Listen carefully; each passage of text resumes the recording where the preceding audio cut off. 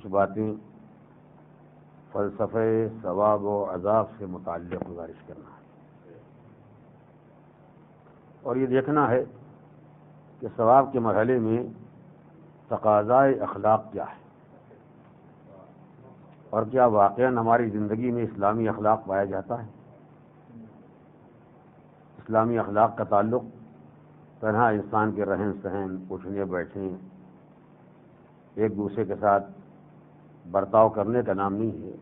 अखलाक इस्लामी की मंजिल इससे कहीं ज़्यादा बुलंद है जिसमें अमल का मरहला बाद में आता है पाकिजगी नफ्स का मरहला पहले आता है। सबसे पहले जो बात आपके सामने गुजारिश करना है, इंतहाई माजरत के साथ, शायद ही हमारे अजीज़ों में और हमारे बच्चों में कोई ऐसा हो कि ये जानता हो कि सवाब के मानी क्या है। और सवाब क्या है? सवाब की कदर व कीमत क्या है?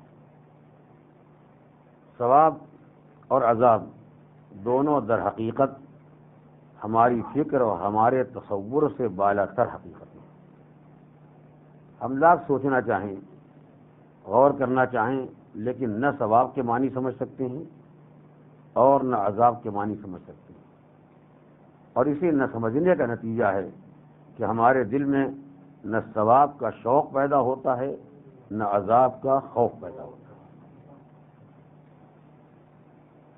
रवायात मासूमी की रोशनी में जो बात सामने आई है, वो मैं गुजारिश कर रहा हूँ, मगर इस सराहत और वजाहत के साथ इन तमाम रवायात के मफहूम न मैं समझा हूँ, न मैं आपको समझा सकता हूँ।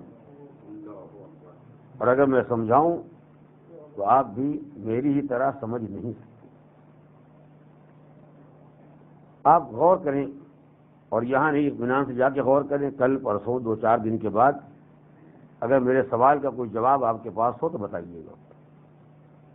इस दुनिया में कोई ऐसी राहत, कोई ऐसा आराम, कोई ऐसा सुकून तलाश करके लाएँ जिसमें किसी तरह की तकलीफ़ शामिल हो। और इस दुनिया में कोई तकलीफ़ सोच के लाएँ, जिसमें किसी तरह की राहत, किसी तरह का आराम और किसी तरह का फ़ायदा शामिल हो। ये मसला यहाँ दो मिनट के अंदर तय होने वाला नहीं है। इस पर इतमान से आप गौर कीजिएगा। और जितनी दुनिया की राहतें हैं, जितनी दुनिया की लज्जतें हैं, जितने दुनिया के आराम हैं, जितनी दुनिया के सुकून के सामान हैं एक एक का हिसाब लगाइए। और देखिए इन राहतों के साथ कितनी तकलीफें पाई जाती हर आदमी दूसरे के बारे में सोच रहा है वो आराम में है, खाली हम परेशान हैं। गरीब ये सोचता पैसे वालों का क्या कहना? लेकिन क्या कहना, ये तो वही जानते हैं कि क्या कहना। जालिम का आना एक मुसीबत, या आए कैसे? आने के बाद रह जाना दूसरी मुसीबत, के रहे कैसे? और चला जाना तो मुसीबत वाला है, मुसीबत। तो जिसके लिए मरे थे वो भी हाथ से निकल गया। औलाद जीनतुल हयात दुनिया। कुरान मजीद ने जीनत करार दिया है, मगर इस आरइश में कितने गुलबूटे पाए जाते हैं, वो साहिबान औलाद ही जानते हैं। औलाद का दुनिया में आना, औलाद का दुनिया में रहना, औलाद की तरबियत और खुदा न करदा चला जाना, कौन सा रुख ऐसा है जो इंसानी ज़िंदगी में राहत का है? इकतदार, वो उससे बड़ी मुसीबत है। जो साहिबान इकतदार है, वो उसकी मुसीबत को जानते हैं। हम चूँकि उस मरहले तक पहुँचे नहीं, लिहाजा हम समझते हैं कि उनकी ज़िंदगी में आराम ही आराम है, खाली परेशान हम ही हैं। हालाँकि हम गरीबों को क्या?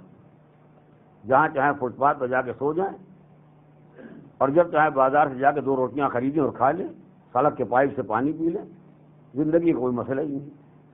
उन बेचारों के दिल से पूछिए जो बड़े बड़े कसरे शाही में बैठे हुए एक गिलास पानी को मोहताज हैं, जब तक तो कोई पिला न दे, पी नहीं सकती। अगर इकतदार और तरक्की कर जाए तो और क़यामत अपनी औलाद से, अपनी जौजा से, अपने घर वालों से मिलना चाहते हैं। दूसरा को इजाज़त दे तो मुलाकात करेंगे। इसका नाम भी इकतदार है। इसी का नाम हमने राहत रखा, इसी का नाम हमने आराम रखा, इसी के रश्क में हम मरे जा रहे हैं। मगर जो मुबतला है वही जानते हैं। इस दुनिया में कोई सामान्य सुकून ऐसा नहीं है जिसमें कोई ना कोई परेशानी शामिल न हो। और यही हाल परेशानियों का है। परेशानियाँ, कोई परेशानी ऐसी नहीं जिसमें कोई ना कोई आराम का पहलू हो। चलिए, हमारे पास पैसे नहीं है तो हमें कोई परेशानी नहीं एक ही परेशानी के पैसे नहीं है, लेकिन हज़ार तरह का आराम है न, इनकम इनकम टैक्स का झगड़ा न चोर का खतरा न डाकू का खतरा न किसी गोली मारने वाले का खतरा न किसी ले जाके किसी सहरा में बंद कर देने वाले का खतरा। क्या कहना है? एक गुर्बत फ़कत है लेकिन गुर्बत के पीछे कितनी सुकून कितने आराम के असबाब पाए जाते हैं। ये लोगों के घर में औलाद नहीं इसमें कोई शक नहीं घर बेचराग है। लेकिन बेचराग होने में इंसानी ज़िंदगी में कितनी राहतें हैं उससे भी इनकार नहीं किया जा सकता। तो दुनिया में जो आराम भी है, उसके पीछे हज़ार तकलीफें हैं और जो तकलीफ़ भी है, उसके पीछे हज़ार तरह के आराम हैं। तो चूँकि अभी तक कोई ऐसा आराम नहीं मिला जिसमें कोई तकलीफ़ ना हो और अभी तक हम कोई तकलीफ़ नहीं सोच सके जिसमें कोई राहत और आराम का पहलू न हो, लिहाजा न हम सवाब के मानी समझ सकते हैं, न आजाब के मानी समझ सकते हैं।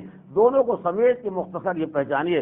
सवाब उस राहत का नाम है, जिसमें किसी तरह की तकलीफ़ न हो, और अजाब उस तकलीफ़ का नाम है, जिसमें किसी तरह की राहत न हो।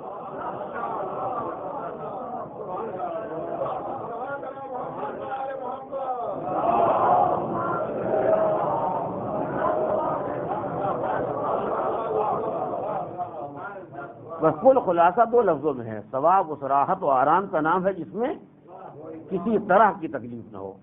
बताइए, मैं क्या बताऊँ, सब आप किसको कहते कोई मिसाल दो? दुनिया में अगर कोई एक मिसाल ऐसी मिल गई होती तो उससे अंदाज़ा होता कि सवाब किसे कहते हैं। मैं कैसे किसी को समझाऊं कि अजाब किसे कहते हैं?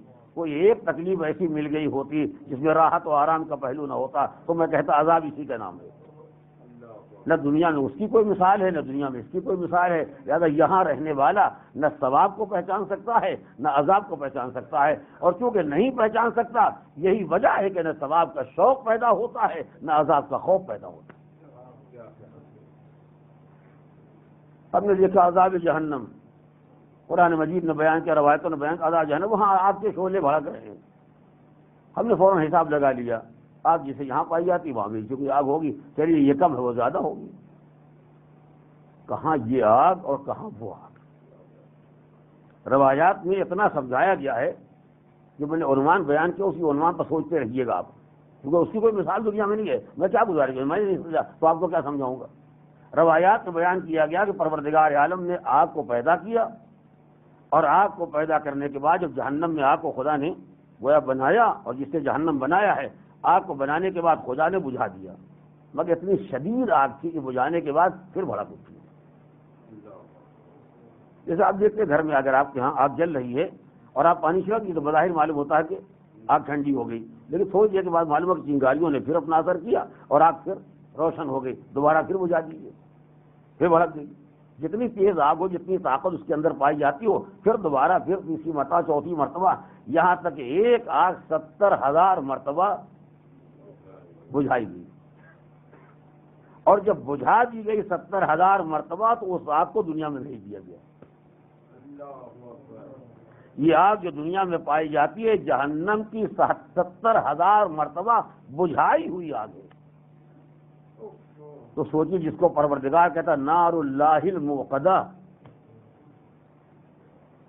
जहन्नम उस आग का नाम है जिसको खुदा ने अपनी तरफ़ मनसूख किया, ये तुम्हारे घर की आग नहीं है, ये तुम्हारे चूल्हे की आग नहीं है, ये तुम्हारे महल्ले की आग नहीं है, ये किसी नमरूद की भड़काई आग, नारुल्लाह।